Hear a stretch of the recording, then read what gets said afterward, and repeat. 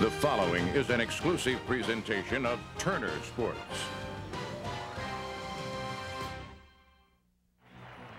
If you're a baseball fan, it doesn't get any better than watching Greg Maddux pitch.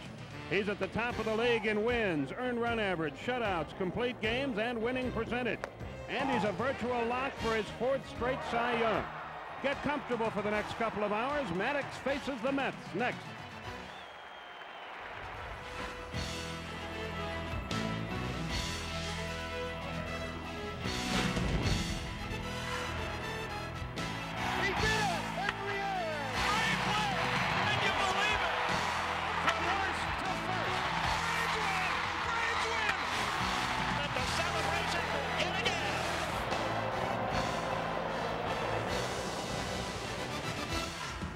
Again, everybody. Along with Joe Simpson, Skip Caray, welcoming you to another night of Atlanta Braves baseball. Braves and the New York Mets wrap up a four-game series tonight, and the Braves will be trying to earn a split. And as they try to earn that split, they lead with their ace, the best pitcher in baseball today. And Joe, you can make an argument, best pitcher in a long, long time. I think so, Skip, and he is fun to watch. This will be one of his last two starts of the year, and we talk a lot about his stats during the course of the year and how he's leading the league in this category or another. But when you match him up against some of the all-time greats, he fits in very nicely too. In fact, he has a chance to become the first pitcher since the early 1900s, Grover Cleveland Alexander to be exact, to lead the National League in ERA in three consecutive years. In fact, one neat stat that Hal Galima pulled out for us that tonight he could go out there and not retire a batter and give up 19 earned runs, he'd still be leading the league in earned run average, and that's quite an accomplishment. Bet you a dollar that doesn't happen. I don't think Bobby'd let him give up more than 12 or 13. You might be right. Back with the starting lineups, the play-by-play story, right after this.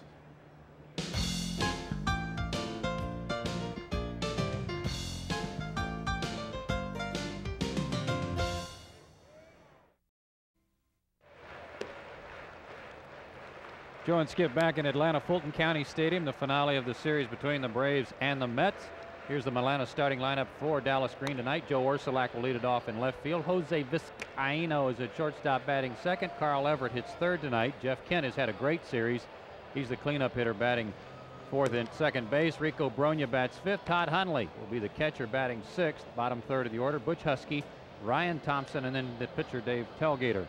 For the Braves defensively, Dwight Smith will be in left field. Marquis Grissom in center. David Justice in right. Jones, Blauser, Lemke, and McGriff from third to first. Charlie O'Brien is behind the plate, and Greg Maddux on the mound to make his 27th start of the year. And when you start talking about is he going to improve, is he going to get better? Well, there's some pretty good numbers over his last six starts that prove that he has gotten better, at least in the ERA department, a 1.02 ERA with four complete games. His umpire is working tonight behind the plate, Mark Hirschbeck. At first base, Larry Vanover. Second base, Frank Pulli. And at third base, Gary Darling. Joe Orsulak set to lead it off. And here to take you to the play-by-play story, here's Skip Caray. Okay, Joe, thank you very much. Orsulak hitting 290, a homer, and 36 runs batted in. He is one out of four in this series with a couple of runs scored. In his career, seven out of 27 against Greg Maddux. And here we go. High and outside, one ball, no strikes. Maddux 1 0 this year, 18 and 10 lifetime against New York. A ball and a strike.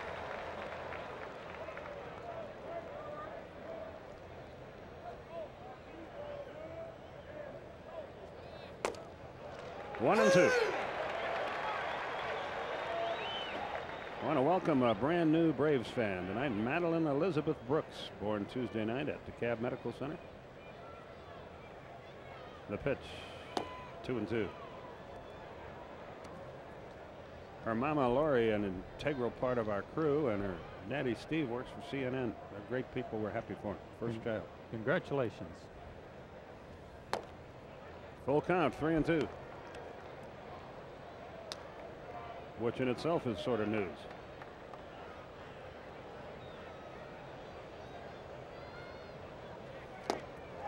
Got him with a breaking ball. The bat winds up in the seats. Let's see if everybody's all right.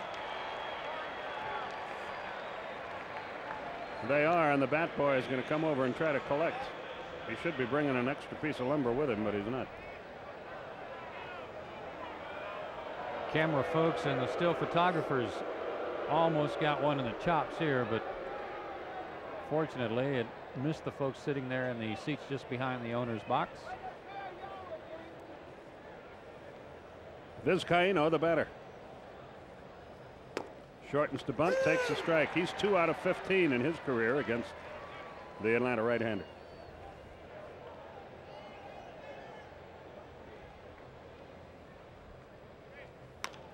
High fly ball left field. That should be easy for Dwight Smith, and it is. Two down.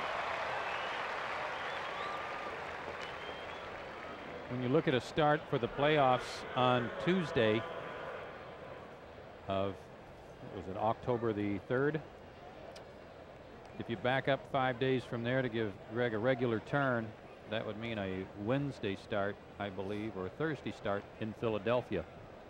Thursday's an off day, so I guess Thursday's go, off day, yeah, that's right. Probably go Wednesday. Maybe give him an extra day in there. Everett, the batter, he's had a good series. Four out of ten. He's driven in five runs. They want to look at the baseball. A hazy night here. It rained most of the day, but it's cleared off, and the field's in great shape. Right through there, nothing in one.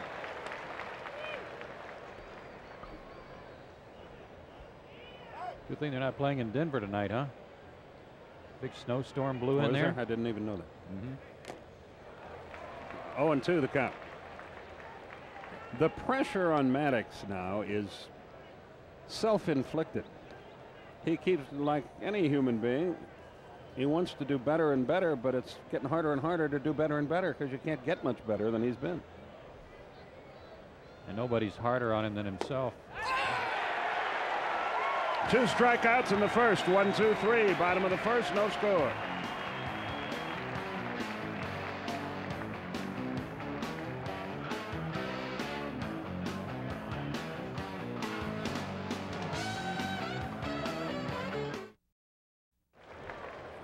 Good start for Greg Maddux in the top of the first. Let's quickly take a look at the Braves starting lineup as they bat tonight. Grissom, Lemke, and Jones will be the first three. Fred McGriff, the cleanup hitter, followed by David Justice and then Dwight Smith, who's in left field.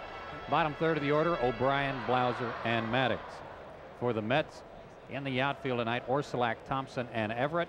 Huskey, Vizcaino, Kent, and Brogna on the infield. Behind the plate, Todd Hundley and Dave Telgheder on the mound, 28 years old. And he deals a strike to Grissom. He pitched most of the year at Norfolk, was five and four there, one and one up here with a 6.23 earned run average league, hitting 326 against it. Curveball foul back. He doesn't walk many. 0 and 2 the count. Mixes his pitches up pretty well. He's not overpowering. He's had a few stints with the Mets before. Has made three appearances against the Braves, but no starts. Almost hit him inside. A ball and two strikes. He's out of Middletown, New York. 6'2", 211 pounder. One away as Grissom is out on strikes. Mark Lemke, a hot hitter, comes to the plate. Telgheder pitched collegiately at the University of Massachusetts. One of those guys that was drafted late, yet still made it to the big leagues. The 31st round choice back in '89.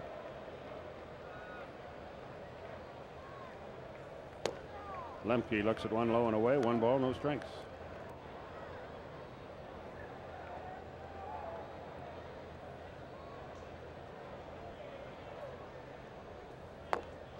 Right in there, good live fastball at the knees. It's one and one. It's a shame about Mark's hitting streak and that stat about That's the a bad- sacrifice fly. Bad rule. If a sacrifice continues it, why shouldn't a sacrifice fly? Not just for Lemke, for everybody. Yeah. The thought that if you deliver a sacrifice fly, you weren't actually trying to advance the runner, but in many cases, that's all you're trying to do. High pop. Rico Brogna makes the call and makes the catch two down. Florida failed to score in the first at Philadelphia. Says up there that Colorado failed to score in the first at San Francisco, but I don't know if that's right. I know that they'd be starting this early.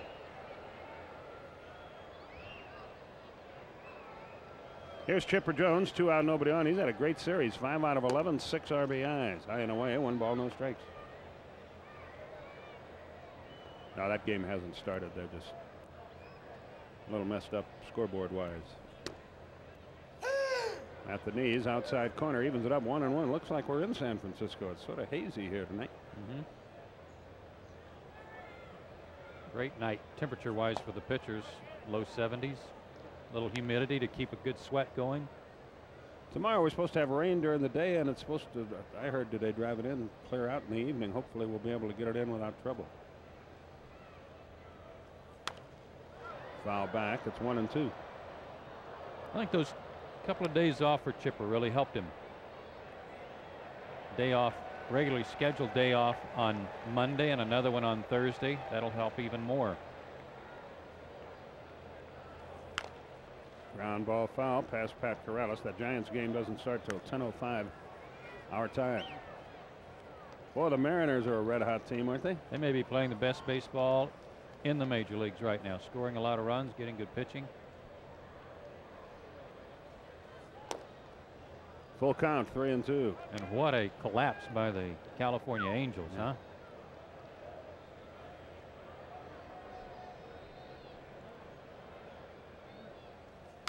High fly ball left side. Everybody chasing it. Huskey in foul territory. Gets turned around correctly, makes the catch, and Telgheder gets him one, two, three in the first. At the end of one, no score.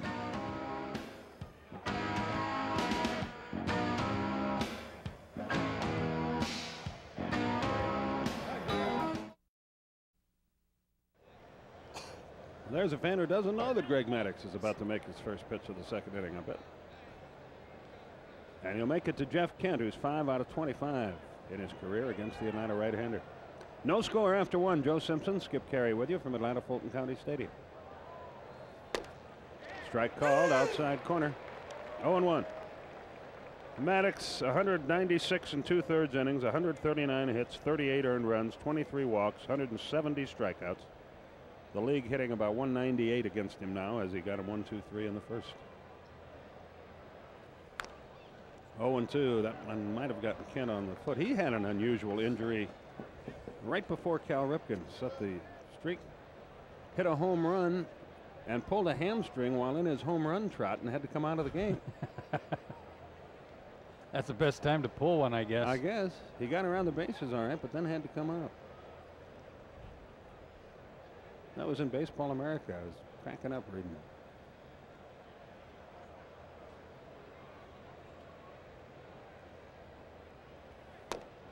On three pitches, three strikeouts for Maddux, one away in the second. We were talking about that wild card race and how well Seattle's playing, how poorly California's playing. They're tied atop the American League West, which means they're tied in the wild card race as well. But the Yankees are lurking in the wings. They will begin to host Detroit, or New York is at Detroit coming up. Kansas City will be playing at Cleveland, Seattle at Oakland, Texas at California. They may knock each other out of it. Rico Brogna hits it foul 0 1. New York is hosting Toronto tonight. The Blue Jays have a 1 0 lead in the top of the first. Another one of those great injuries that happened right about the time Ripken set the record. John Valentin of Milwaukee missed a game because, his, because he cut his hand on a pineapple in the clubhouse. Managers love that. They just love that stuff. One of their everyday guys. You were talking about Maddux earlier and his the pressure he puts on himself and the desire to succeed. It, it's almost like that line from Apollo 13 that failure is not a consideration or not, a, not an option. Not an option. I think that's kind of his attitude. It, no room for any errors. Boy, he is doing it tonight four strikeouts. He's faced five batters. Charlie O'Brien with a target outside on a hot hitter, and the off speed pitch just dies down and away. Hundley 13 out of 44 at his career against Maddux, hitting 295. He had a tough series. Two out of 14. He was hitting 305 coming in. He's lost 10 points.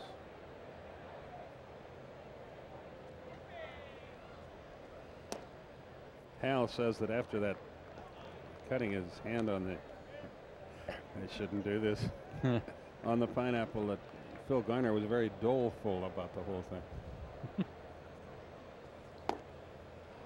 the other good one was Dave Veers, the, Florida pitcher.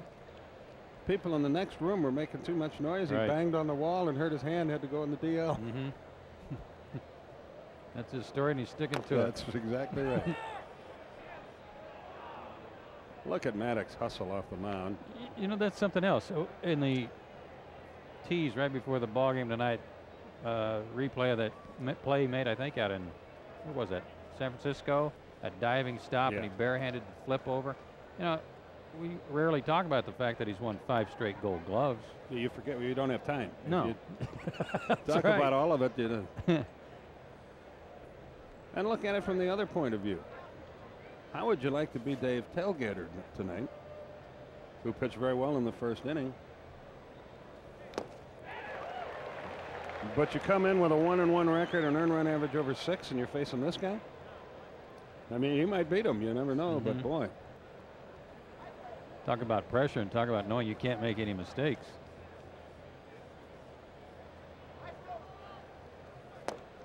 He has to think that if I give up one run tonight, I'm in trouble.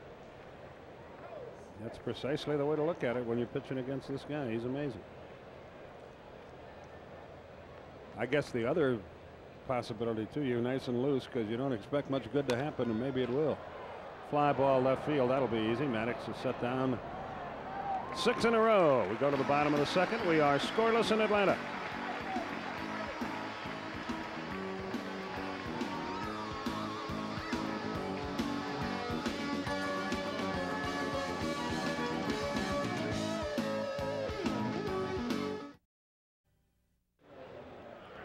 Across after an inning and a half.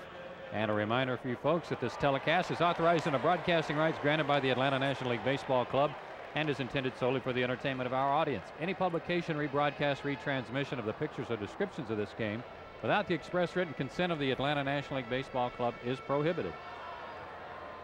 Bottom of the second, Fred McGriff leads it off for Atlanta. Fred needs a couple of long balls here in a hurry. He's slacked off a little bit in his quest for the 30 again this year. He's two out of seven in this series. He's scored a run. Curve ball, a beauty right in there, 0 1. Yeah, his pace of one per series is all right as long as he hits one tonight.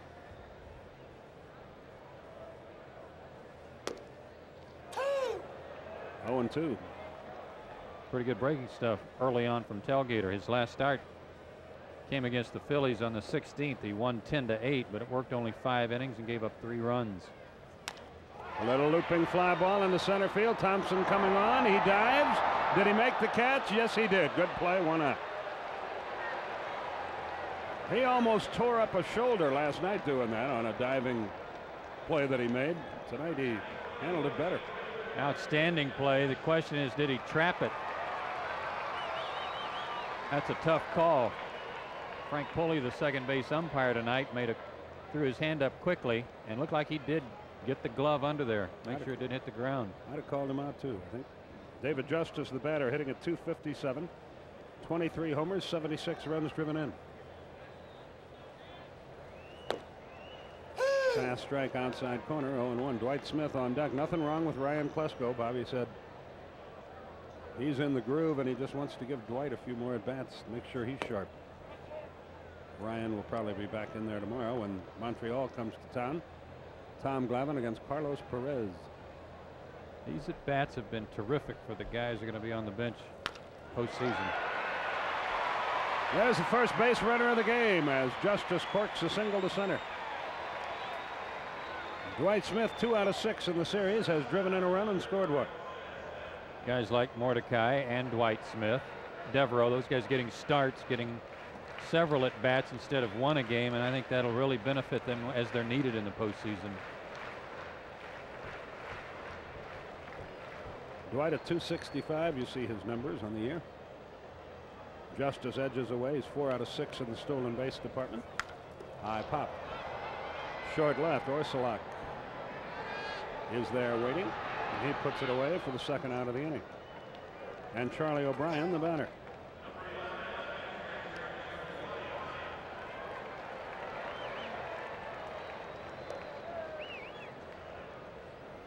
Charlie down to 228, nine homers, 23 runs batted in.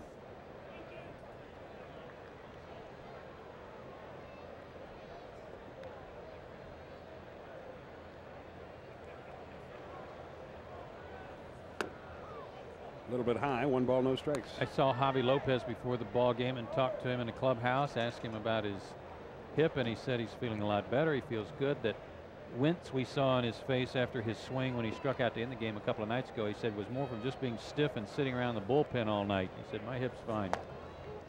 Strike to O'Brien. It's one and one.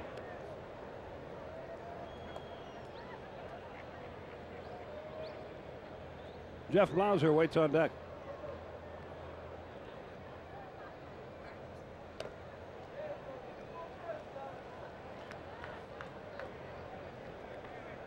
Baltimore hammered Detroit today 13 1.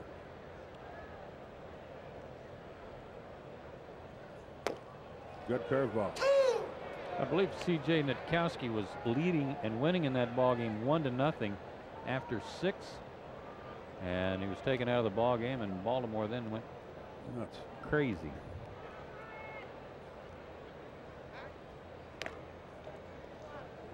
Looks like we'll have a new manager there. Huh? Sparky is all but out the door.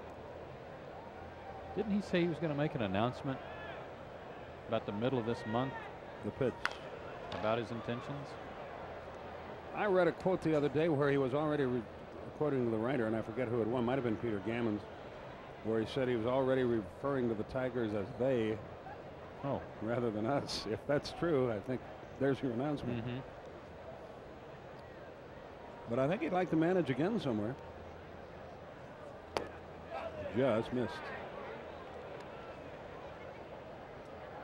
Again, a lot of curveballs here early on from Telgheder. Neither team took batting practice on the field. Any swings the guys got, they took in the cage underneath the stadium. That's not an inviting situation when you're facing Greg Maddux to not No. get any swings in before the ball game. Hot shot off the pitcher. Vizcaino makes a heck of a play and throws him out, and the inning is over. What a play by the shortstop. Telgheder appears to be okay. Tough break for O'Brien. He hit that ball hard. One hit, no runs, no errors, one left. We've played two. No score in Atlanta.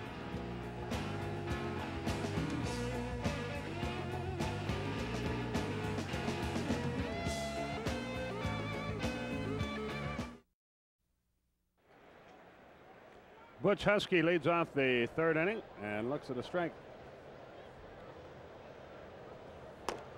That one's high, ball and a strike to count. Speaking of weird injuries, he played in the Arizona Fall League last year. Hit a solo homer. Fouled away.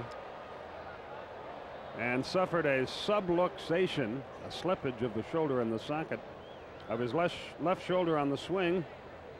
He had to have a pinch runner to score the home run. Odd.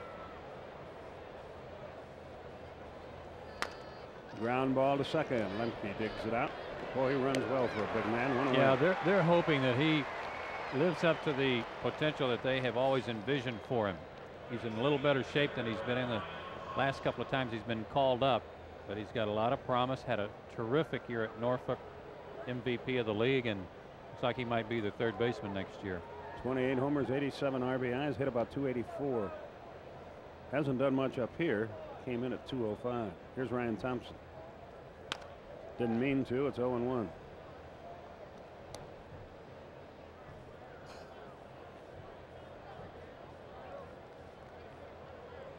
Thompson will be fighting for a job next spring, it looks like. Mm-hmm. He's hitting 260.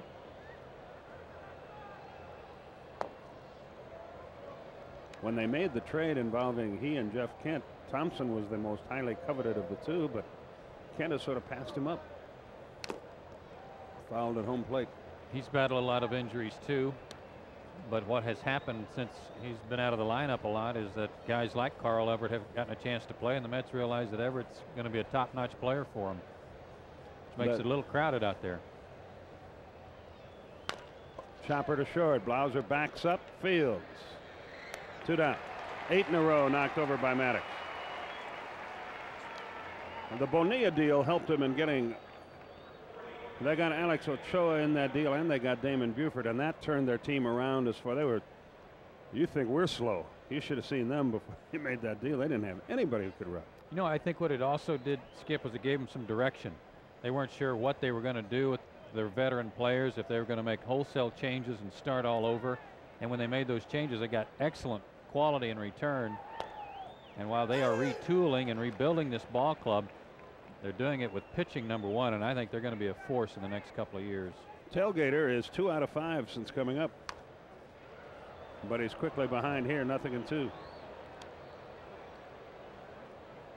We are scoreless, top of the third.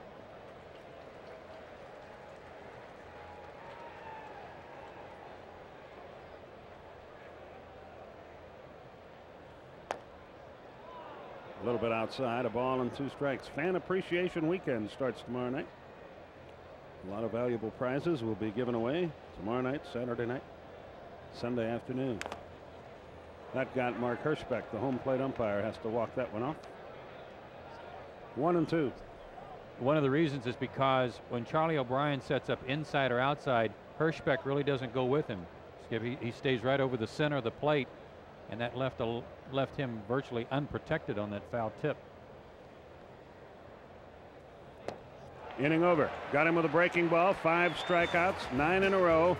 Set down by Maddux. Bottom of the third, no score.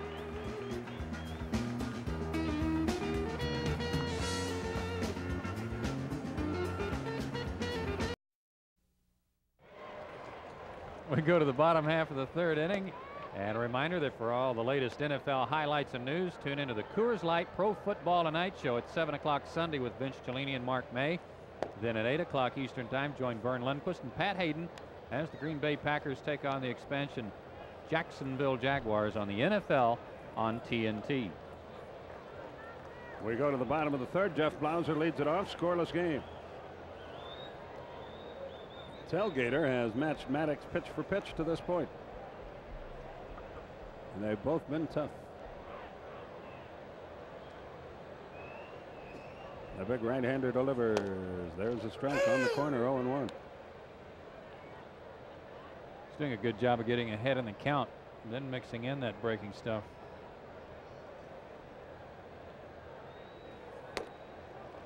That didn't miss by much. A ball and a strike.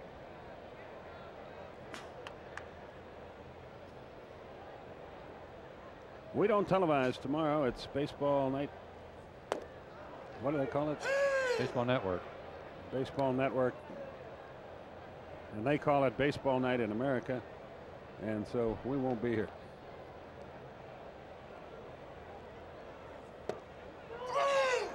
Blauser. Another strikeout.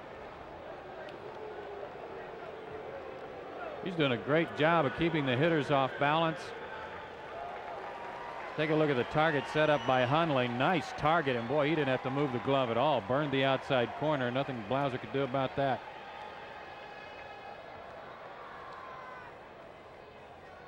His pitches move a little bit a la Maddux. At least they do tonight. Greg hits one fair into the corner.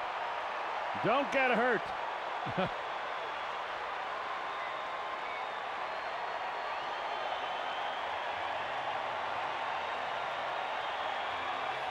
he gets a standing ovation.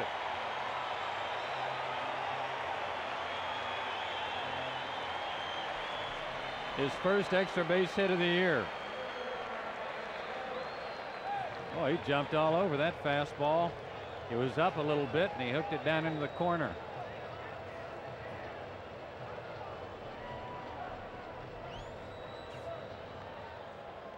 Marquis Grissom, a strikeout victim his first time.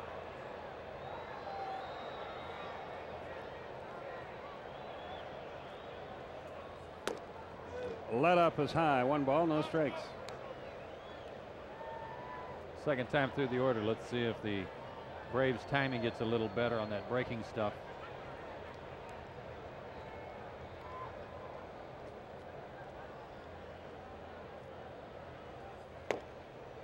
There's another one in there. One and one. He struck out Marquis with a pitch breaking ball that was way off the plate outside first time around.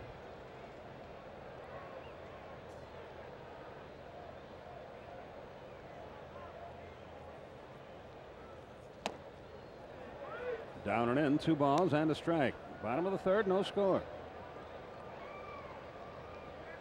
We're not through with the Mets. We end the season in New York next weekend.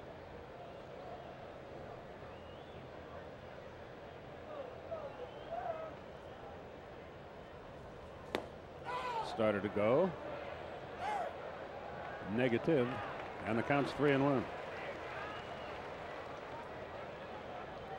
First base umpire Larry Vanover decided he didn't go around. It looked like he checked it pretty good.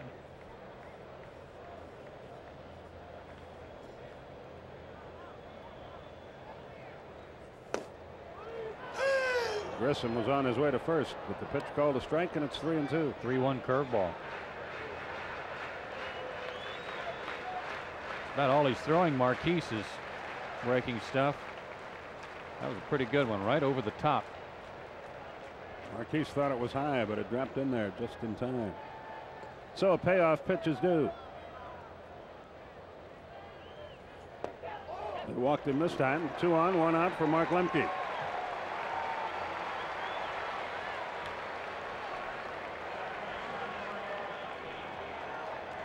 Mike Mimbs out of Macon, Georgia, pitching tonight for the Phillies. Just singled home Lenny Webster. Philadelphia leads Florida 1 0. They're in the bottom of the third. Keith Lockhart has just doubled, scoring Tom Goodwin. Kansas City leads Minnesota 1 0. Bottom of the first. With Gary Gaetti coming to the plate. See those numbers there. I think a lot of that you can attribute to batting second in the order a lot more and being more aggressive and having a few more opportunities. Well, he's got an opportunity here to give his team the lead.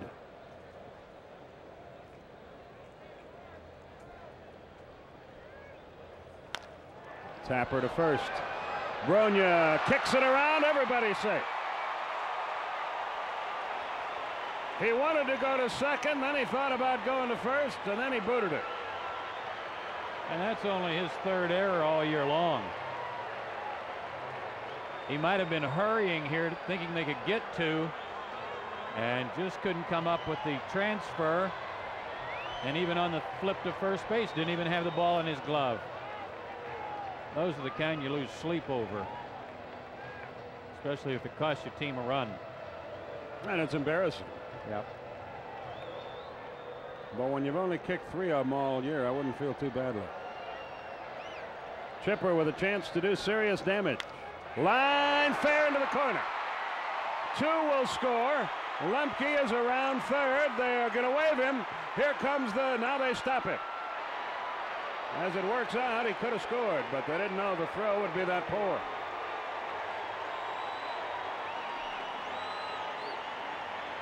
Jones now with eight RBIs in this series and 84 on the year. He made two great adjustments. Number one on this breaking ball, he kept his hands back and just golfed it down the line. That got the two runs home. But then he had to make an adjustment. Jimy Williams was waving Lemke home and threw up a late stop sign. Chipper saw him waving him, and he was headed to third, and Chipper had to stop and hustle back to second. Had he known they were going to miss the cutoff man, he'd have kept them coming. Well, Fred McGriff is up there. It's 2 0 Atlanta. Second and third, one out. Swung over the top of a breaking ball, 0 1.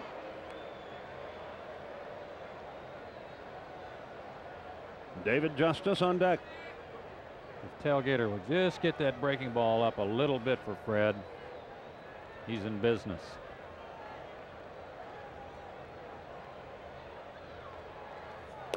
Threw him a fastball. He was looking for a breaking ball, it appeared, and Telgheder is ahead 0 2. And all this discussion about Hideo Nomo and Chipper Jones battling for the Rookie of the Year award. Ain't no contest in my book. The guy right there has played every day and he's done a terrific job. Into the dirt. Do you agree with me, though, that Nomo should be considered a rookie? There are some who say he should not. That's a that's a tough call. It's a real. I know the the thing about playing in the Japanese league. I read an interesting story today about I think it's called the Makarov rule in hockey, where one of the great Russian certain age Russian players came over, and he was 27 or 28 years old, and they changed the rule where you had to be under 25. No, I disagree with you. I think you've never played in the major. They forget the fact that he nobody on his team speaks his language and they, Yeah. all that. But he's never played in the major leagues over here before. I think he's a rookie. I hope Chipper wins, but I think Nomo deserves consideration as a rookie. Chipper has been quick to point that out too about the change in cultures and living away from home and how difficult it's been for Nomo. The 2-2 little chopper down the first base line. That'll get a run home. It's three to nothing. McGriff is retired, but he drives in his 90th run of the year, and Chipper moves over to third. And David Justice, the batter, he singled to center his first time.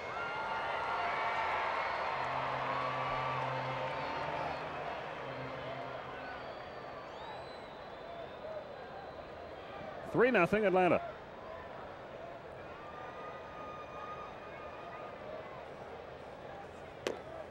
That curveball is getting it up now. That was high. One Mhm. ball, no strikes. That was too high.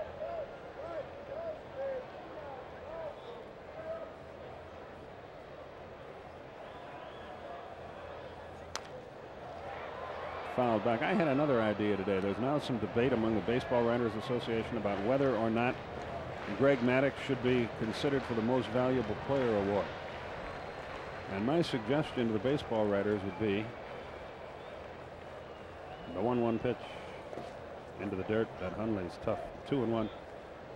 They should have a Henry Aaron or Ty Cobb or Babe Ruth award for the most valuable everyday player. They should have the Cy Young award for the most valuable starting pitcher. They should have the Fireman of the Year award for the best relief pitcher. And then when they're through with all that, then vote for a most valuable player among those three men. That's that's a great idea.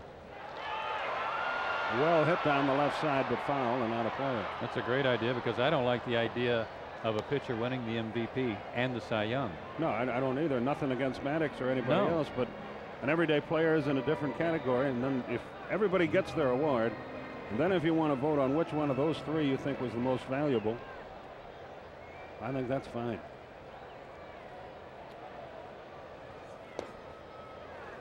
There was a time where the Cy Young Award went to the best pitcher in the major leagues, not just one in each league.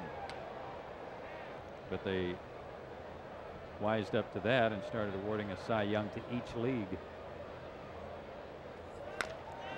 Ground ball. Kent has it. That'll end the inning, or should. It does. The inning is over, but not before Atlanta scores three runs.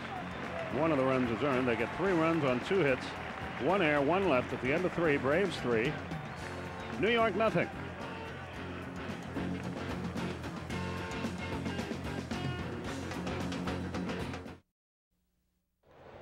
Go to the fourth. Time for the Aflac trivia question. When was the last time the Red Sox, Indians, and Braves won the World Series? That, of course, is three different years. We go to the fourth, and here with the play-by-play story, Joe Simpson. Thanks, Skip. Greg Maddux has retired nine in a row and has looked good doing it. He's struck out five. Orsulak, oh, off the glove, hopefully. Jones is going to try to get him and does. What a recovery by Chipper Jones. Now let's see if Maddux is all right. It slapped when the ball hit him like it hit leather. Let's take a look. I don't know. Can't tell from that angle. Didn't look like he had his glove up high enough. Yeah, Yeah, maybe he did. I think he did. I think he.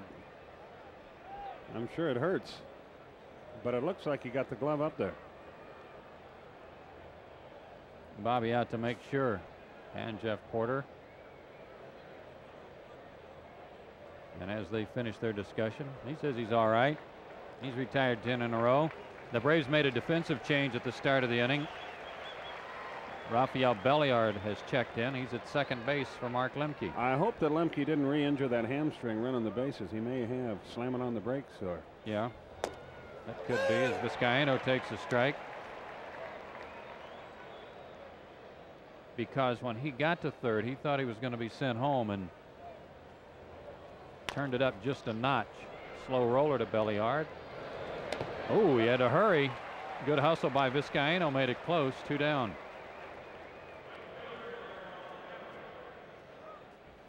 See if you can hear that slap I was talking about in regular speed off the bat of Orsulak. Yeah, and it does sound like whether leather it might have gotten part of his body as well, but he appears to be fine. Carl Everett took a call third strike his first time up.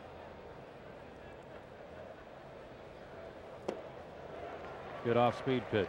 You know, one of the things when I think that if there's anything that irritates Greg Maddux, and very little does, he's so mild mannered and low key, is if somebody makes a reference, well, you make it look so easy. Well, you didn't have any trouble tonight. Those types of things, because he wants you to understand that it is hard work for him. What he does, there's a lot of work and preparation that goes into it. There's the first hit of the night for the Mets. You can hear the fans moan and groan just about the. They almost expect mm -hmm. a perfect game from the guy. He I does, but he does make it look easy. I know uh -huh. it's uh-huh. not, but for the most part, he that's exactly what he makes it look like. You get one hit back at you, and what's going on here? Makes you a little gun shy the next time. Everett has two stolen bases. He's at first with two outs for Kent, who struck out his first time up, but a dangerous hitter.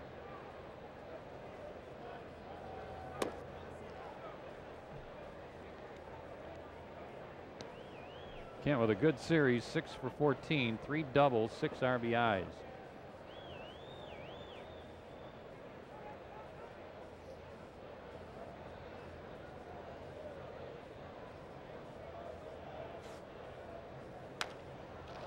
Fought it off. He's had a few of those types of hits in this series, and he gets another one. Everett speeds around to third as Belliard runs it down. Runners at the corners with two outs. Jeff Kent's been wearing out that little area out behind second base and now down the first base line. Yeah, this is a real bleeder, but he'll take it.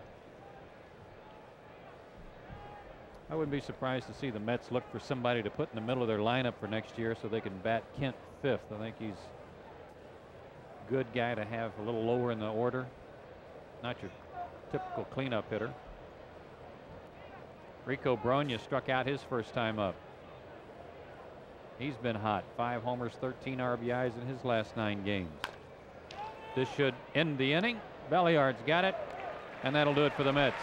They get two hits, strand two runners. We go to the bottom of the fourth. Braves still on top, three to nothing.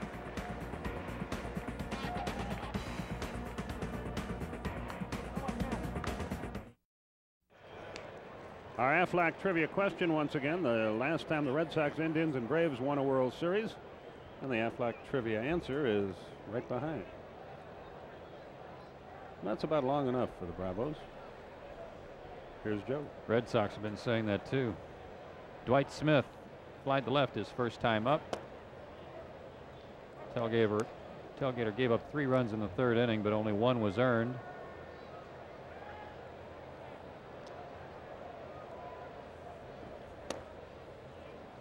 Two and 0. 21 RBIs for Dwight. 18 have come while pinch hitting. And he has certainly done everything asked of him in that role. 3 0. Smith, O'Brien, and Blauser here for the Braves.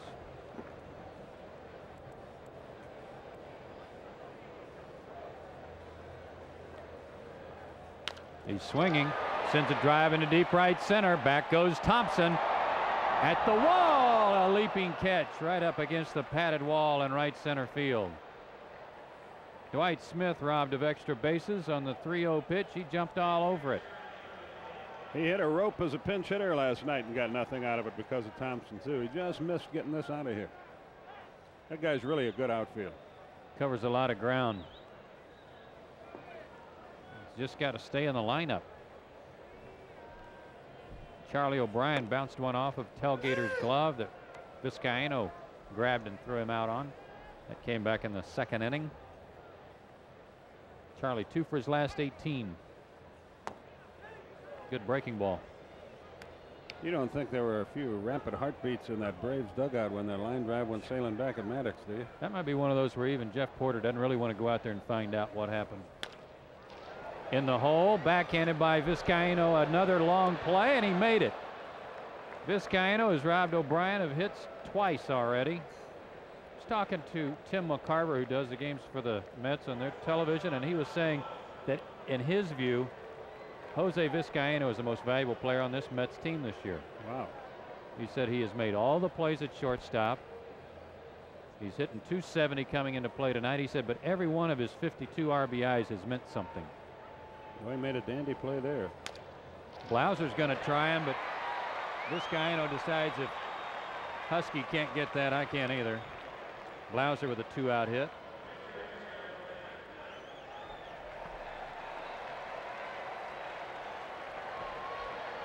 And here's Maddux, who doubled his last time up. It was his first extra base hit since May of last year. May 22nd.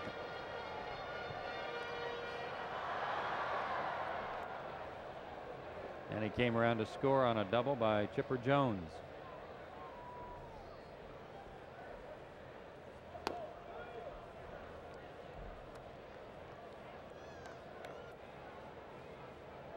Maddux now 9 for 67 on the year, 134 average.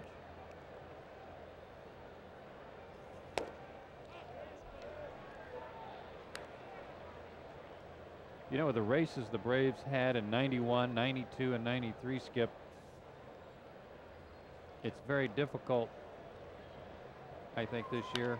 Oh, another one. He's hooked another one into the corner. Orsulak can't get that one. Blauser on his way to third. Maddux headed to second. He'll make it standing. Two doubles for Maddux. And listen to this crowd. They're on their feet again.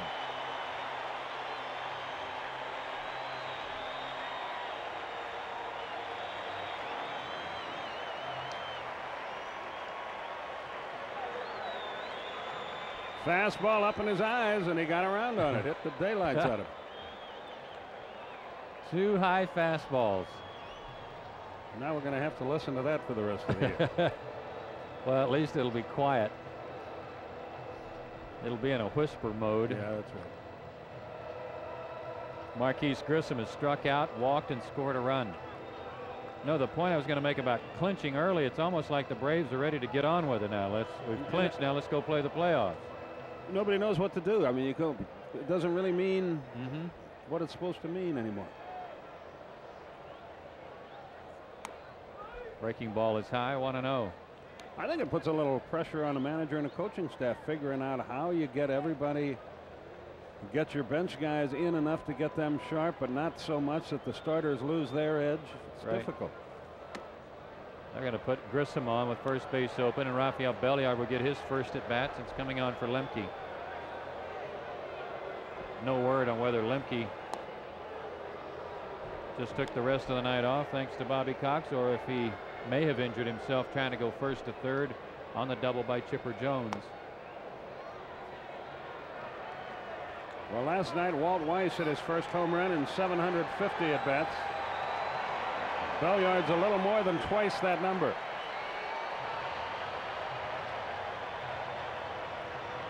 I'll take a single, though. I don't want to be greedy. Blas Minor begins to heat up down in their bullpen. Belliard's been tough also with guys in scoring position. First pitch fastball hitter.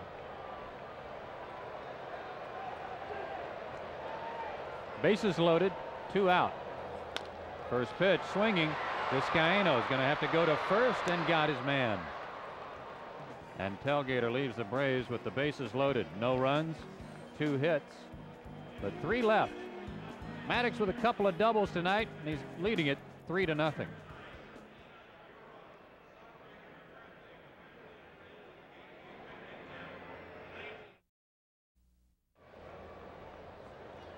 3 0 Braves on top. We go to the top of the fifth. Todd Hundley, Butch Huskey, and Ryan Thompson for the Mets.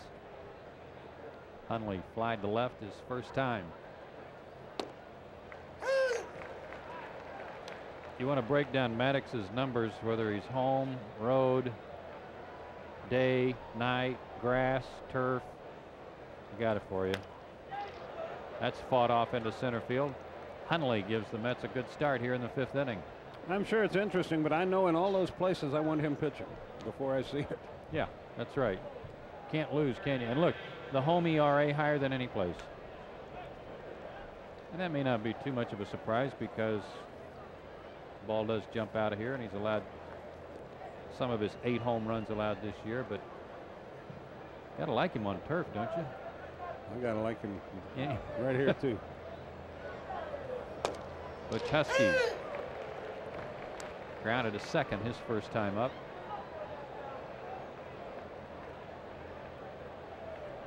Three hits now for the Mets. Huskey one for 14 in the series. Look at that target way inside, and he can't get around on it. Well, Griffin foul territory has it.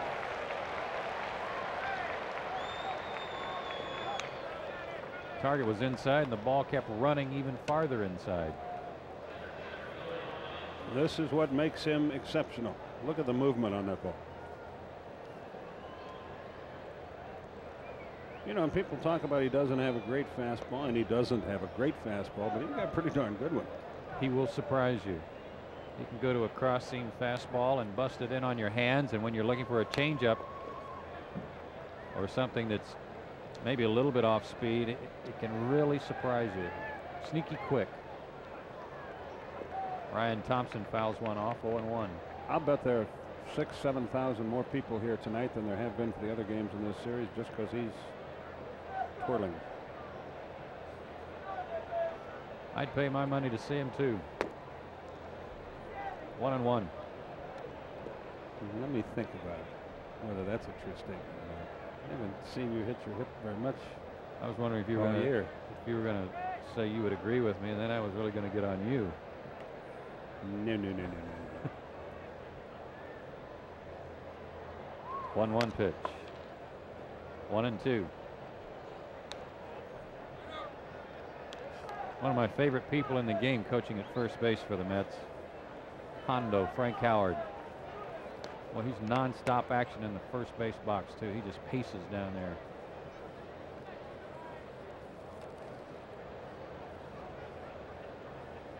One and two to Thompson. Two and two. Charlie O'Brien has the luxury. You might notice him sometimes after he gives the signal and gets set up in his crouch and gives the target. He's looking at the first base runner. He knows Maddux's pace and he doesn't have to worry about Greg being too far from the target. And he did it there. Full count. Second full count of the night, if I'm not mistaken. I believe Orsulak leading off the game was the other one. Struck him out. Hundley not running. That's skied to center field, and Marquis Grissom is under it and has it. Two down. And we got a pinch hitter for Dave Telgheder. Damon Buford will come out and hit.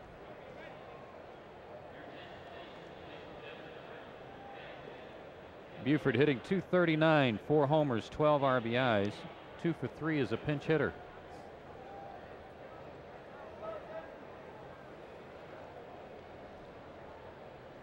And now Robert, Person will come on to pitch. Excuse me, Joe. if they were thinking if they needed to get an out last inning with the bases loaded, Blas Minor, a good sinker ball pitcher, could get you a ground ball if you needed it. But Person's a very hard thrower. Runner at first, two outs, three nothing Braves in the fifth.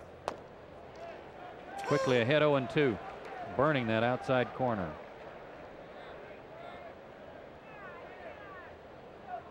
Another situation I wouldn't envy anybody having to come off the bench and face this guy after he's had a couple of innings to get loose. Buford didn't even blink and it was 0 2. Just missed being 0 3.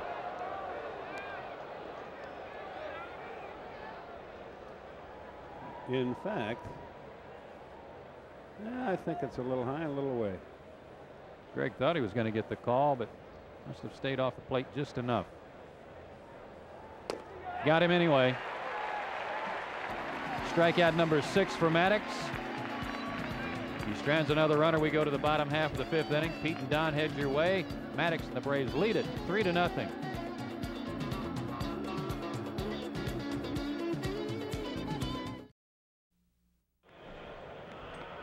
Middle of the fifth inning, Braves lead it three to nothing. And if you look at that line up there, Pete, you see a zero where the run column is. That's no surprise with Maddux out there. Absolutely not. He's just been a marvel this year, start after start. Uh, you really can only think of two starts this year that he was not at his best. Not just a good game, but a great game. And another one coming from him tonight so far. Mets are going to go to their bullpen. Robert Person will come on. Dave Telgheder went four, gave up five hits three runs. Could have been different for him, though, if Rico Brogna makes the play on Lemke. You see Person's numbers. Averaging a strikeout an inning in the major leagues. He's a good-looking right-handed prospect. But then again, uh, talking about something that's not a surprise, the Mets seem to have put together a nucleus of what could be a pretty good ball club next year or the next year. Isn't it funny how organizations tend to do that, though? The Mets have always been known as an organization that develops pitchers you look at a team like the Boston Red Sox, they're an organization that seems to develop offense hitters. There are certain clubs that just seem to have a knack for developing one phase of the game over all the others.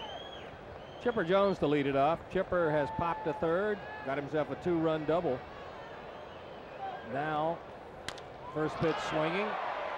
That's going to carry pretty well, but they're going to end up shy of the warning track one out. Chipper now with 84 RBIs, and it's the time of the year for speculation. Rookie of the year, Cy Young. No speculation on Cy Young. That's led by cinch. But let's suppose he wins it again this year. What do you do for the rest of the guys who've had good years, Pete? I mean, you come up with some other kind of award for those guys?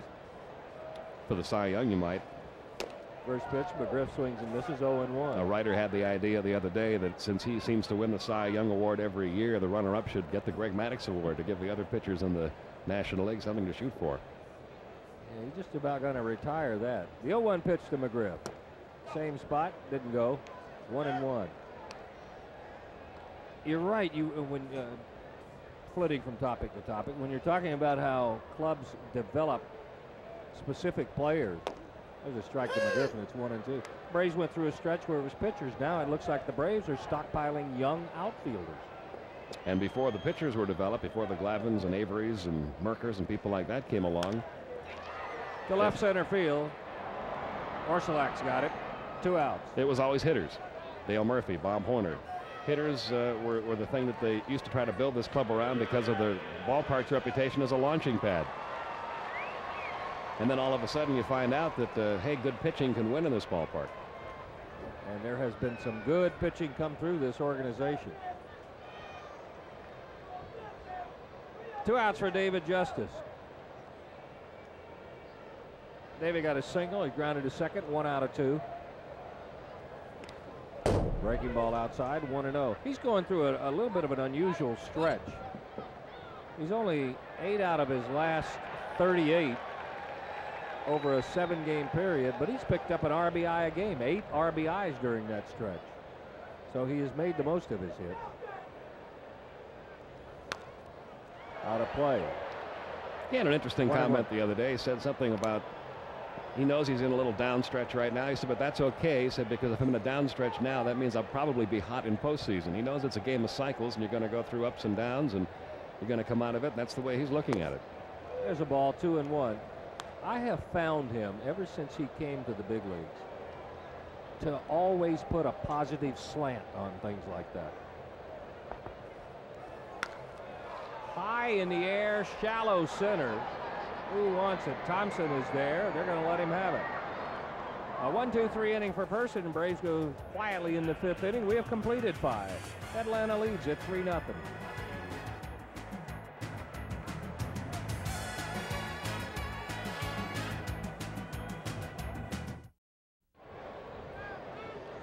And as we go to the sixth inning, here's tonight's Budweiser game summary. Greg Maddux, another gem in the works. Six strikeouts, only three hits allowed. Chipper Jones, a two run double, and Fred McGriff as his 90th RBI of the year. And as we go to the sixth inning, top of the batting order for the Mets, Joe Orsulak. Struck out swinging and then line one off of Maddux that was eventually played by Chipper Jones, turned into an out. There was some concern as to whether or not Maddux may have taken that in the ribs, but apparently he did get leather on it. Out of play, 0 2.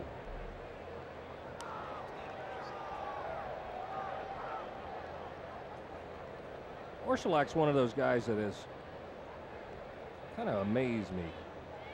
I'll tell you why. If he's still hitting after this pitch.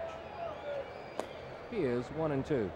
Here's a guy that if you look up his numbers, every year he hits 280, 278, 285, 260, 284, but seems to bounce around one, two, three, three or four teams. And one of the reasons you don't hear much about him when they're talking about the players with those kind of numbers is it always seems that he's playing for a second division ball club. He played with the Orioles when they were a bad team, played with the Pirates when they were a bad team, played with the Mets the last few years. They've been a bad team. They're getting better now. Now that they are getting better, will Orsulak be back with them next year, or will he go to another bad team? There are some players that just can't seem to get lucky and get on the winning ball club where they'd get some a little more positive acclaim. Vizcaino's the hitter, fouls it out of play, and it's 0 1. He's 0 for 2, fly to left, grounded to second. There was a player before the current Frank Thomas named Frank Thomas that Yeah. played in, in Major League Baseball for about a 15 year period.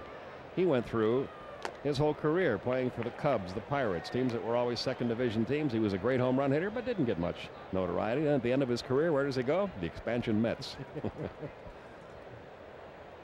Some of the rest of the scoreboards rolling past. Some of the rest of the scores on the scoreboard rolling past for you. Comebacker, Maddux is Maddux has got to feel like he has a target on his back, and he won't get him this time.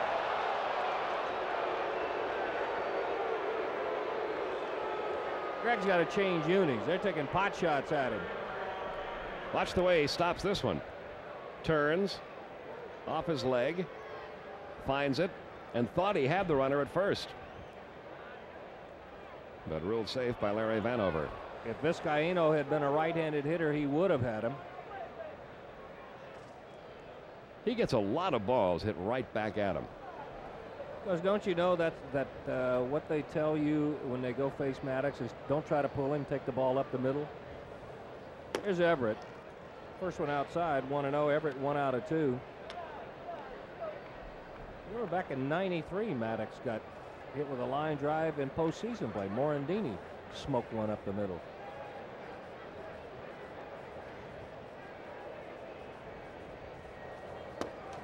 Pickoff attempt, almost picked off McGriff. 2 and 0. Another pitcher that pitched many years for Atlanta used to have a lot of hot shots hit right back up the middle was Phil Niekro. Same same reason. Hitters were told just try to make contact, hit the ball somewhere up the middle. Don't try to pull them. For that reason, a lot of line drives, and a couple times in Knucksie's career, he had to miss a couple of starts because of being nailed by line shots up the middle. I played with a couple of pitchers, one with Houston and one with Oakland, and I know you'll recognize their names that we used to call target because it seemed like they would get more smashes. Chris Codiroli with Oakland. Everything that he threw was down, pitched away. And Vern Ruhle, there goes the runner. Grounded to third, but Chipper Jones got it and got him. Vizcaino moves up 90 feet, two gone for Jeff Kent.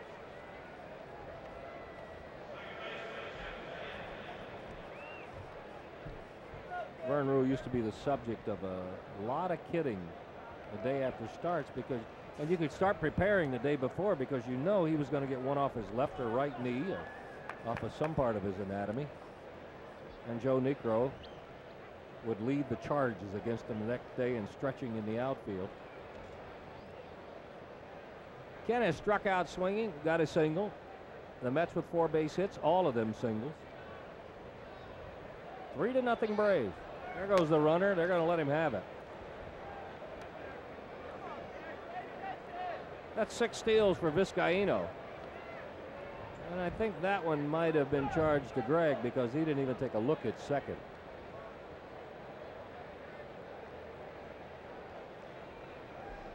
if you've watched Braves baseball all year, you have seen that line pop up there more than once when Maddux is pitching.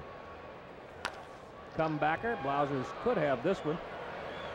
That'll do it for the Mets. Mets get a base runner as far as third, but Maddux leaves him standing there. No runs are hit, no errors, and one left. To the bottom of the sixth, it's the Braves three, Mets yet to score.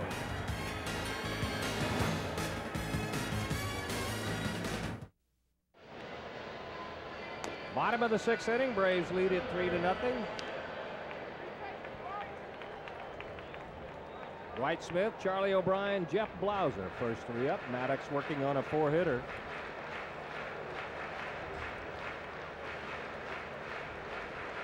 We got to work with Greg on falling off the mound and getting out of the way of those. Let those four other guys in the infield get those line shots. Dwight 0 for 2. Two fly balls, one to left, one to center. First pitch swinging, and that's foul 0 and 1. You know what Bobby Cox is doing that I like, Pete? The guys he's going to have to count on coming off the bench, he's going to he's making sure they get a lot of at bats this last. Yeah, these last couple of weeks. Good curveball. Dwight finds himself in a hole 0 and 2. You're seeing either Dwight Smith or Mike Devereaux or Luis Polonia, guys who are going to be counted on to come on and pinch hit in postseason in the lineup, one of them at least, almost every night. Yeah, the last thing you need if you're one of those players who's not an everyday player is to sit for two weeks and then all of a sudden try to win the fifth game of the first round of the playoffs. The semifinals. The divisional playoffs, they are being called. Catchy title. Two balls, two strikes. Postseason semifinals. Close. Did get the call. Three and two. Person out of Lowell, Massachusetts now makes his home in St. Louis out of University City High School. Dwight stays alive. He's a guy who's a product of uh, a junior college program and a darn good one too. Seminole Junior College out in Oklahoma. Originally picked by the Cleveland Indians, traded to the White Sox. Then the Marlins drafted him. High and deep, fair or foul, it is foul. Still three and two.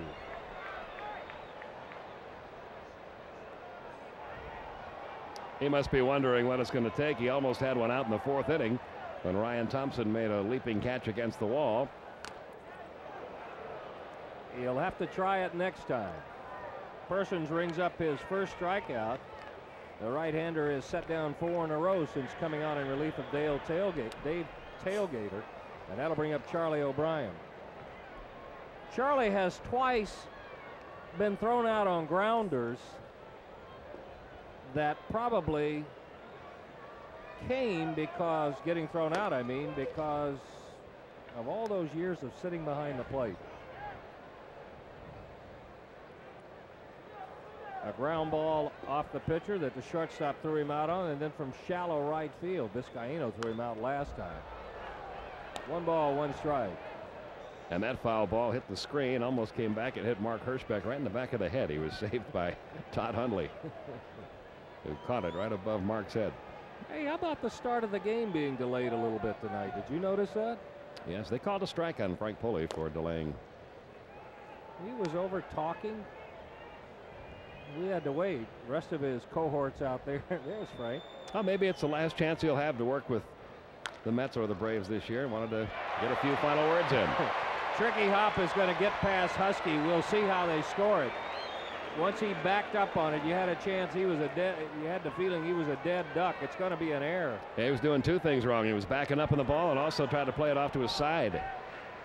See how he tries to Olay that ball off to his side there, and that's a difficult way to make a play on a ball coming at you like that. Block it at least.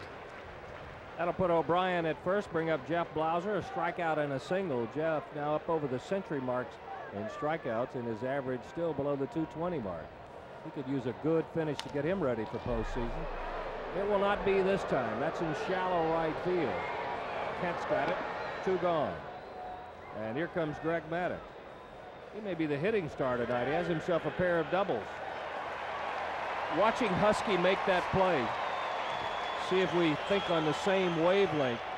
Who's the best you've seen at recent years at giving the ball the first move like that and then coming up with it? Terry it? Pendleton. No doubt. Terry Pendleton plays those like a counter puncher in boxing. He'd say, "Go ahead, take your best shot," and then had the quick, quick love and would come up with it. Ball one to Greg Maddux. Greg now with 10 hits, a 147 batting average. He even scored a run tonight. He went around one and one.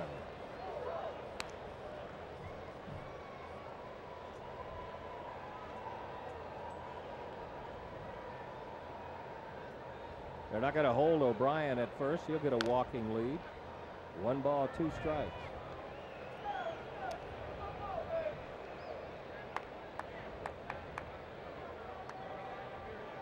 Al Galima reminding me a little bit earlier something, speaking of Maddux up there, which I found absolutely unbelievable. He'll go sit down this time. Do you realize in his 297 career starts, he's never allowed more than two homers in a game? He's probably not thinking that right now. Braves come up empty here in the sixth inning. No runs, no hits, one error, one left. Six in the books, three to nothing Braves.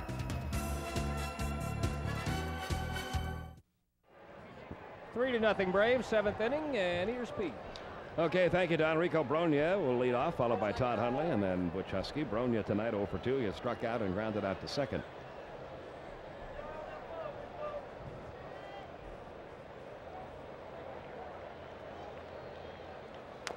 Fouls back the first one, 0 1.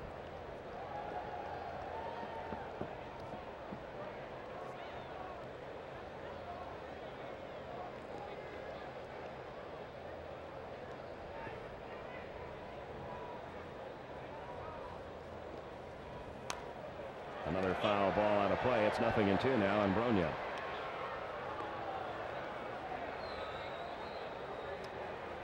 Pretty good ratio there. Two to one is great.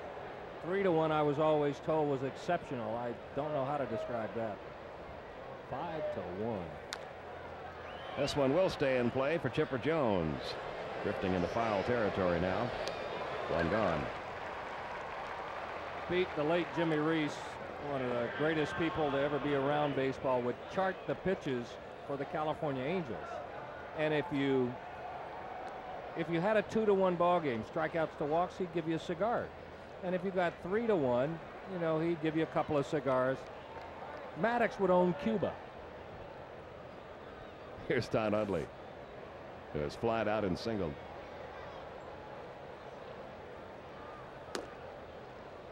One ball, no strikes on Hundley. Braves leading at 3 0. We're in the top half of inning seven.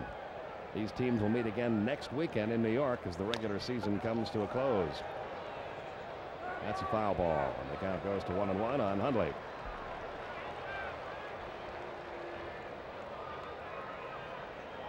We've talked about so many different facets of Greg Maddux in his game. As you look out in the bullpen for New York and see Pete Walker beginning to loosen up. But there's a demeanor about Greg. He doesn't have, as you've mentioned many times, Don, he doesn't have a one great pitch, one overpowering fastball or an outstanding curveball or there's there's not one pitch that he throws better than any other pitcher. It's his control. There's a strike in the inside corner. But his demeanor out there, it's almost as if, and there are just a few people you can say this about in all sports, it's almost as if he knows something about this game that nobody else does. Right. It's like he's got a secret. And only he knows it. Well, you made the comparison when we were talking over in radio. You or you made the description that he physically isn't the biggest guy around. He is not the strongest. In so many ways, his approach to what he does, his method of handling fame and the results reminds me so much of Joe Montana. Joe Montana is a guy that if you if you watch both of these guys, their personalities are quite similar. Uh, both have very dry wits, but both find a way. A lot of people who find a way to get the job done just get it done. These guys find a way to get the job done in an exceptional manner.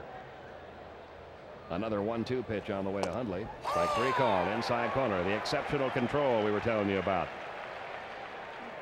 I think his greatest asset may be he does not have one exceptional pitch. Little fastball that comes back over the inside corner. We've only seen that. I think that's 91 times this year called.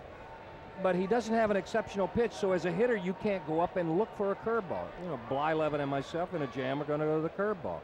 Uh, Gibson probably go to a slider. If it was on, you won. But as a hitter, you can't go up and look for anything. He might throw you one of four pitches in a perfect spot. Here's Huskey. First pitch swinging, fly ball to right. David Justice in his tracks. And one, two, three go the Mets in the seventh. Nothing doing for New York. We go to the bottom half of the seventh inning. 3 nothing Atlanta.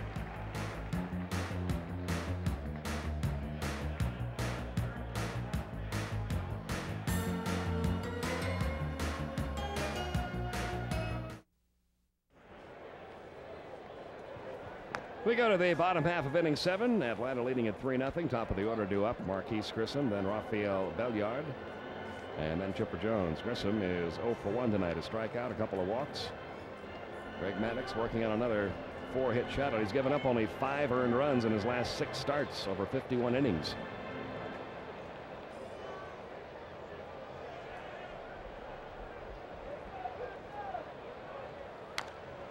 In the air, foul territory. Long run for Rico Brogna out near the Braves bullpen. Made the catch. Good play by Brogna. He wasn't quite sure what was down there waiting for him. He knows there's a tarp down there. He knows there's a wall down there. But he couldn't take his eye off the ball. He wouldn't have had to worry about this in Shea Stadium. It would have been about 10 rows back, but he did a good job of staying with that. Not only to get to it, but when a ball goes out that far, a foul ball, coming down, it starts to drift back toward the playing field, and there's a tendency to come up short and just a short arm and have it fall off the end of the glove. Good play. Now Belliard who grounded out to short his first time up.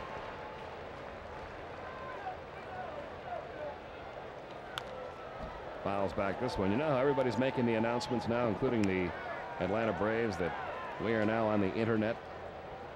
Mm -hmm. Rafael Belliard gave me a note the other night. His art store in Boca Raton is now on the internet.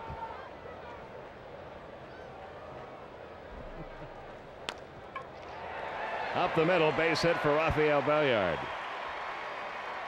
Here's how you can get a hold of Rafael Belliard's art store in Boca Raton, Florida. www hittheveach, V-E-A-C-H dot com.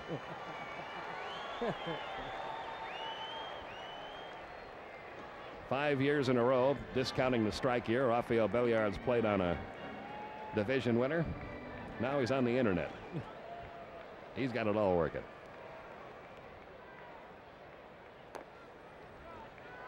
I don't think it's not coincidental either that that has happened because he's the kind of guy that could be the last piece of a puzzle to a winning ball club. Chipper Jones now with 84 RBIs on the air after a two-run double back in the third.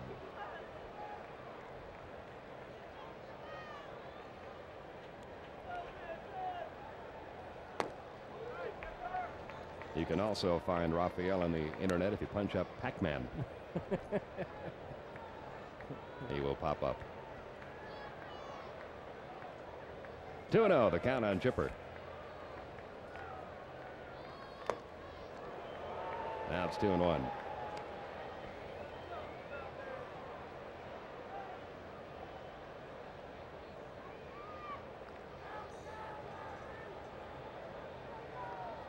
Braves leading at 3 0, bottom of the seventh. Belliard at first with one out. Person throws to first. Rafael back.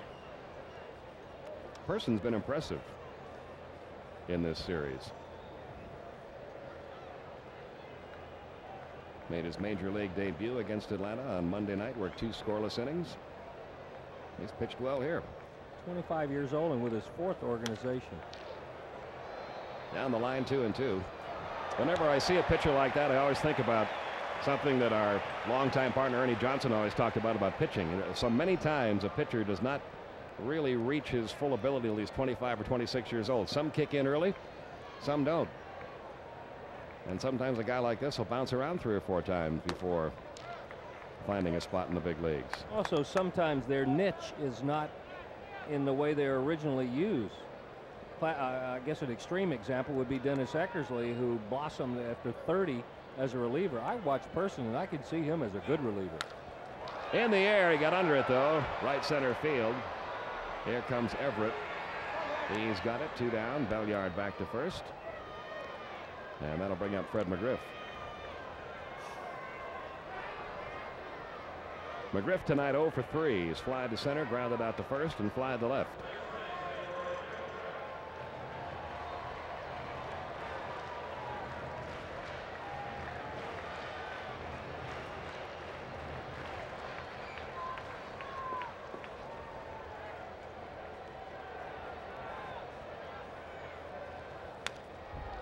Fouls this one back. The count 0 1.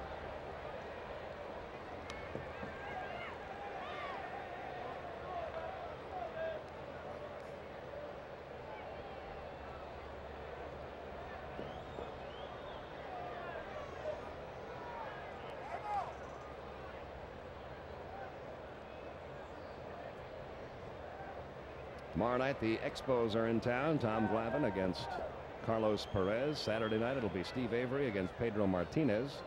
Sunday afternoon, Kent Mercker against Tavo Alvarez. High in the air, deep right field. Back to the wall goes Everett. This ball is caught right up against the wall. And Fred McGriff, who's running out of time, only eight games left in the regular season after this one, just missed his 27th home run of the year in his quest to become a 30 home run man for the eighth straight year. We go to the eighth, still 3 0 Atlanta.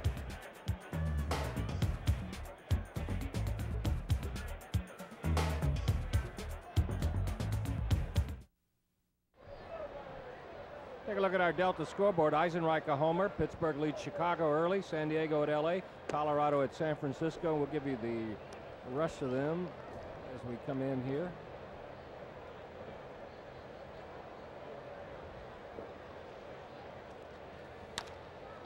In the air by Ryan Thompson into shallow right field. Belliard back. Justice coming on. Neither one can get to it. It kicks all the way back toward the infield. And Ryan Thompson has himself a bloop double. David Justice not believing that he missed that ball. You could tell. You could read his lips there. I don't think that ball carried quite as far as he thought he was going to. Had it in the web of his glove, almost made the catch, but as he bounced up, it flicked back to the infield. That should be a double on that. That's a good try by David. Now Edgardo Alfonzo up to pinch hit for Person. Hitting 276 for the year. Good lucky youngster, only 22 years old. Takes a strike. Don't go wandering off. We're going to give you the rest of the Delta scoreboard.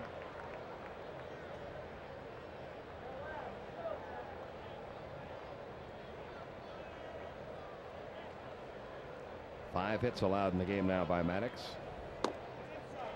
Misses inside. One ball, one strike. As a pinch hitter this year, Alfonzo is two for nine.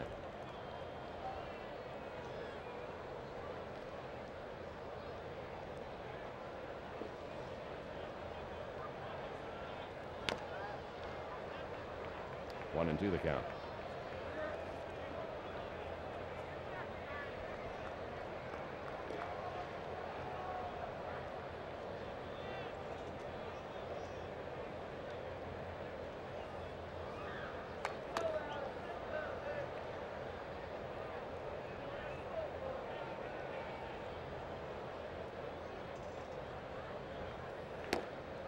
Two and two.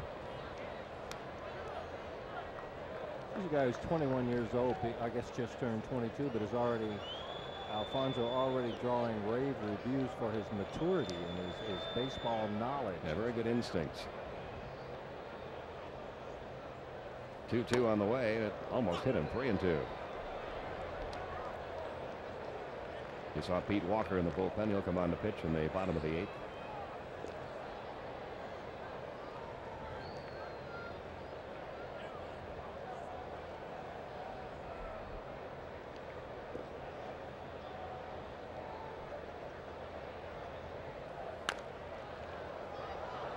Still three and two.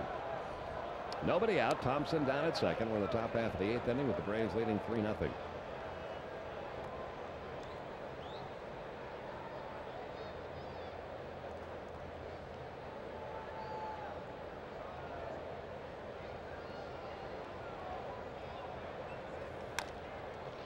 In the air, shallow right again. Belliard and McGriff drifting back. And Fred McGriff caught it right over the head of Rafael Belliard.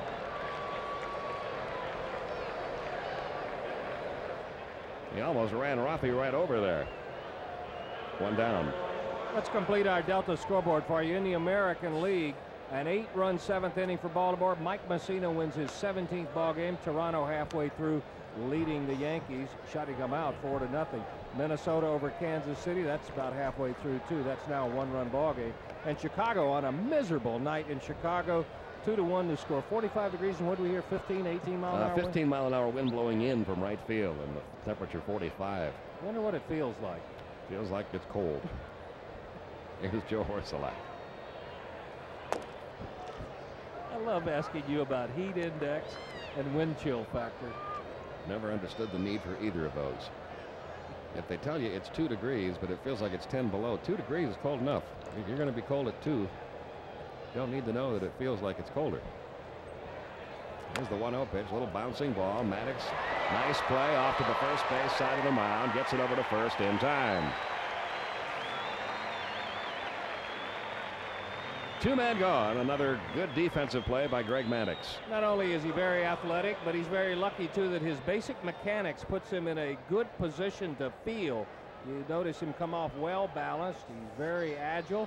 Up the ladder, makes the play. That would have been a tough play for Belliard. Runs it over, gives McGriff a nice soft toss. Two away, runner at third. Jose Vizcaino, the batter. He's flying to left, grounded out to second, and single.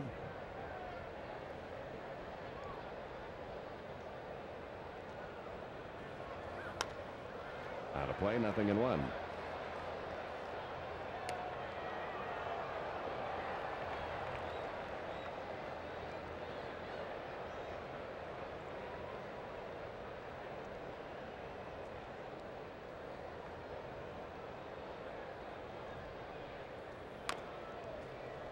Foul that one off, 0 2.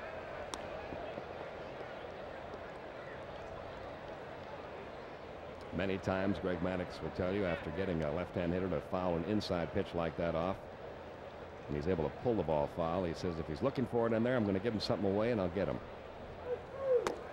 Went inside. Inside corner. Another strikeout for Greg Maddux, his ninth. And we go to the bottom half of the eighth inning. Still 3 0 Atlanta.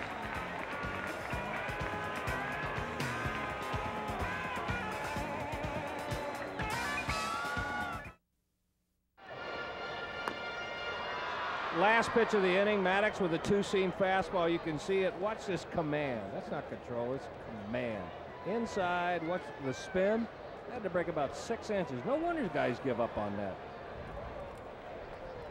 that. that says it all. It does. New pitcher, right-hander Pete Walker takes over for New York, replacing Robert Person, who worked three scoreless innings, giving up a hit, striking out two. Walker making his 12th appearance of the year. And here's David Justice taking ball one. Justice tonight one for three at a single his first time up.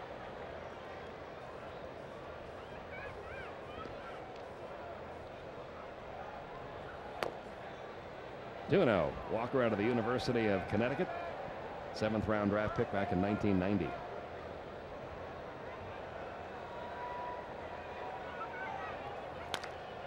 On the ground short, Vizcaino up and throwing. One gone. Even though Greg Maddux on a normal night during the course of the season would probably stay in the game and try to get the complete game in the shutout with Mark Wohlers not having worked the last couple of nights he's up in the bullpen now. And Greg Maddux did get the handshake and the pat on the back from Bobby Cox when he got back to the Atlanta dugout. So it looks like it will be Wohlers in the ninth inning. Dwight Smith takes a strike 0 1 he has just missed two home runs tonight. He had a ball caught up against the wall by Ryan Thompson in the fourth inning then he hit one deep enough but just foul in the sixth. One and one.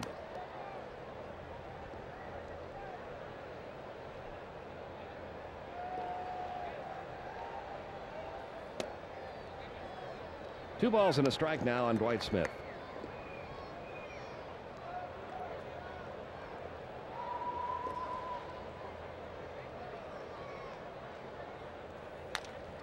Right back to the pitcher. And Walker has retired the first two here in the bottom half of the eighth inning. And now Charlie O'Brien, who was thrown out twice on close plays at first, ground balls, then reached on an error.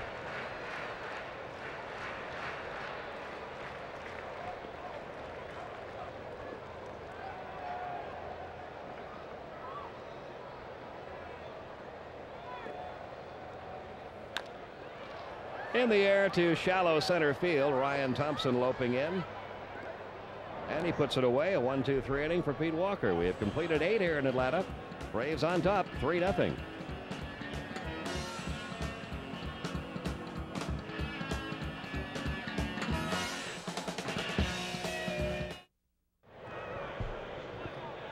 We go to the top of the ninth. Braves leading at 3 0. Mike Devereaux has checked into the game in left field. He will bat ninth. And we have a new pitcher, Mark Wohlers, who is eligible for a save here because the lead is three runs or less. It's a 3 0 lead. Greg Maddux, another masterpiece, eight innings, five hits, no runs, no walks, nine strikeouts. I know you uh, you do a great job of keeping the pitches and all that. How many three ball counts did he have? Well, let's see. He was three and two on the leadoff hitter, Joe Orsulak, in the first inning. He was three and two on Ryan Thompson in the fifth inning. And that just about does it. He went to three balls on two hitters. He threw 95 pitches, 74 of them strikes. So you can't be three and two on too many when you got that kind of ratio. Carl Everett had one of the five hits off of Maddux. a single back in the fourth inning. In fact, that was the first hit of the night for the Mets after Maddux had retired 11 straight.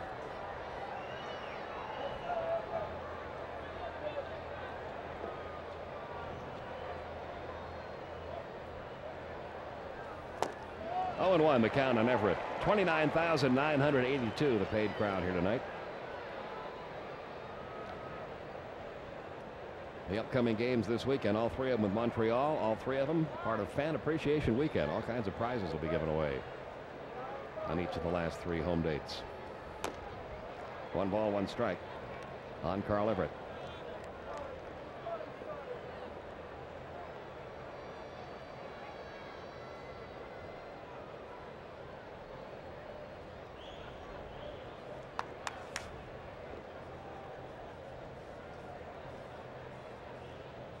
Delivers the 1 1. Foul back. It's a ball and two strikes.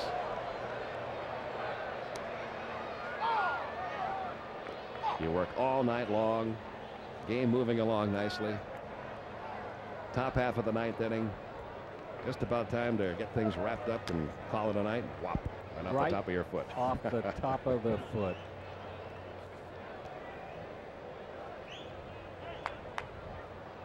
One and two the count.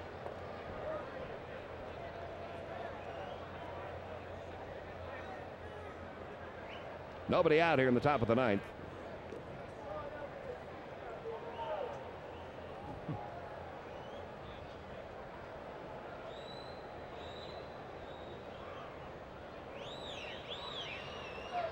And the one two on the way. Breaking ball got him. Everett caught looking. One gone ninth inning. That'll bring up Jeff Kent. This may be the pitch and the knowing when to use it and the control of it. Breaking ball drops it right in there. There is no way if you're a hitter that you can sit up there after trying to time a 100 mile an hour fastball and beyond an 85 mile an hour split finger. Matter of fact, I'd have been proud of an 85 mile an hour fastball, but that's 15 miles off that and it's breaking.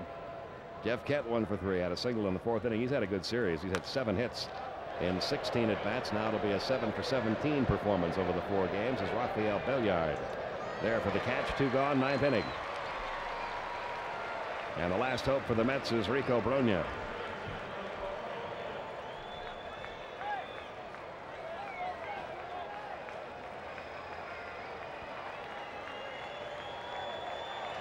Two men out, bases empty, ninth inning. Braves leading at 3 0.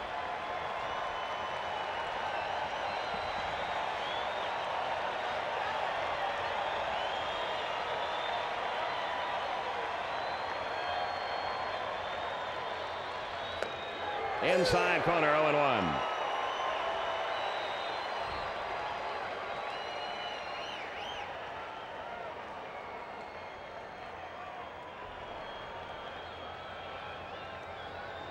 Wohlers needing one more out for his 25th save of the year. Just missed inside. One ball, one strike.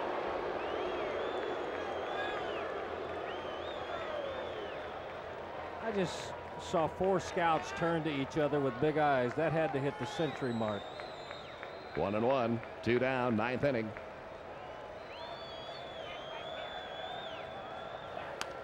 Fouled away, and the count goes to one and two. Yeah, when Mark Wohlers comes into a game, it looks like a rifle range. and All those guns it. come out. I've seen a lot of guys who will pick it up and tap it, you know, just to just to make sure that they're reading it right. One ball, two strikes, two outs.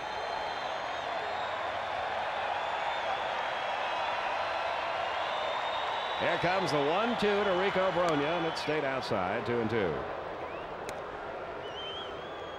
Even after you've done it successfully for a while, Pete, a lot of guys, when you get two strikes, want to finish it off so badly that they'll do just what Mark Wohlers did right there, try to overthrow it, get just a little out of sync. Here comes the 2-2 pitch. High pop fly, left field toward the corner into foul territory. Mike Devereaux's got room. He's got it. And the Braves have beaten the New York Mets as Greg Maddux wins his 18th game of the year. Mark Wohlers records his 25th save. And I'm sure it's no surprise to you that Greg Maddux is our AutoZone player of the game. His 18th win, eight innings, no runs, no walks, nine strikeouts, but we're doing it for another reason too. Take a look at this. A good night at the dish, two for three with a couple of doubles. He scored the first run of the night. AutoZone proud to, proud to honor him as our player of the game. We'll be back and wrap it up right after this. Braves win it three to nothing.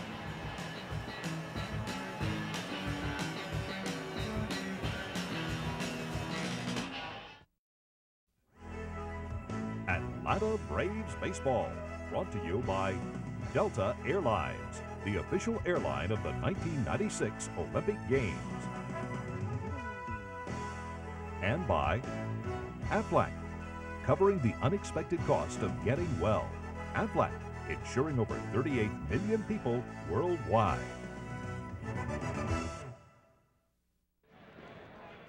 Braves split the series with the Mets winning this one three to nothing. All the scoring in the bottom of the third inning. Greg Maddux another exceptional night. Braves three runs, a half a dozen hits, no errors. They stranded seven. The Mets no runs, five hits, two errors. They stranded five. Maddux goes eight, wins it. He's 18 and two. You see the earned run average. That is absolutely phenomenal. A perfect ninth inning for Mark Wohlers, including one strikeout, his 25th save. Another reason we like Maddux out there. He wins, that's one, but it's always a brisk ball game. Hour and 57 minutes, right at 30,000 here tonight. Braves win it three to nothing. Tomorrow night, the Montreal Expos come to town. That game on the Baseball Network. We're back with you on Saturday, 7.05 against the Expos. That'll be Steve Avery against Pedro Martinez. Coming up next on TBS, Gene Hackman stars in Class Action. Stay tuned for that. For Don Sutton, Skip Caray, Joe Simpson, our entire TBS crew, Pete Van Wieren from the stadium in Atlanta. Once again, Greg Maddux pitched a masterpiece. Final score, Braves 3, Mets nothing. Good night, everyone.